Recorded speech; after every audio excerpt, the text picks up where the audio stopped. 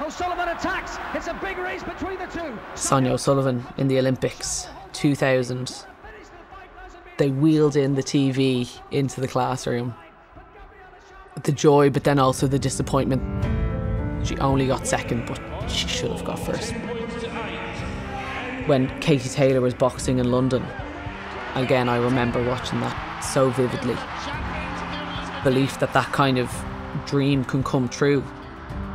I think I'm definitely conscious of being a role model now. Everyone on the Irish team, they are all role models. We are all role models now.